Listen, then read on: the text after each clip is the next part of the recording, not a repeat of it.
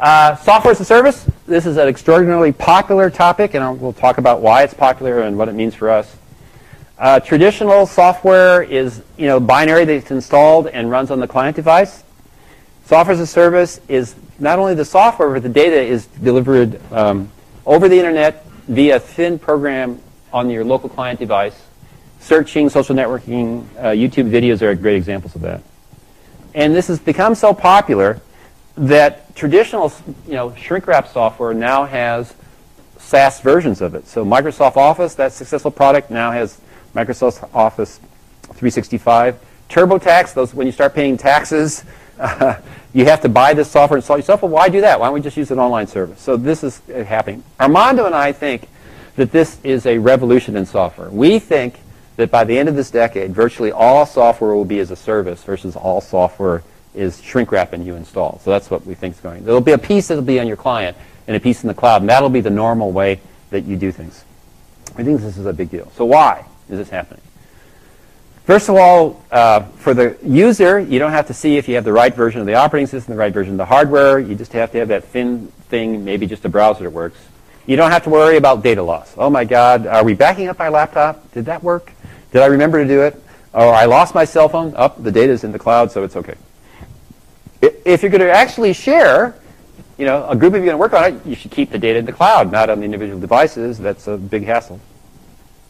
If the data itself is large or changes frequently, it makes more sense to just have the copy in the cloud rather than having it, trying to keep copying it all the clients. Uh, so it, for developers, it's got a really cool feature. Uh, you don't have to go through a phase to make sure it runs on all the versions of PCs and all the various uh, versions of operating systems. It's one location, and you get to pick the hardware and the environment, so it's much easier for software developers. As a result, this makes it the single copy makes it really easy to do upgrades, and uh, and from the user perspective, you're not get all these annoying requests if, if get permission to upgrade it, right? It seems like it's Adobe's business model that every time they they make a little tweak, they ask me if they can upgrade it. So I can remember that Adobe's supplying Adobe Reader or something. But uh, so this no hassles to upgrade and simplified upgrades for developers means what? It means the software as a service gets changed all the time, gets upgraded all the time. So the velocity of change for software as a service is tremendously faster than when you the shrink wrap software. So this is a perfect match to Agile and Rails, software as a service. The frequent upgrades, right? every two weeks you're doing an iteration. Boy, that, that matches software as a service. So as a result, there's a lot of frameworks for Agile and for SaaS because that's a powerful combination in the future of software. We use uh, Ruby on Rails as official name. Its nickname is Rails.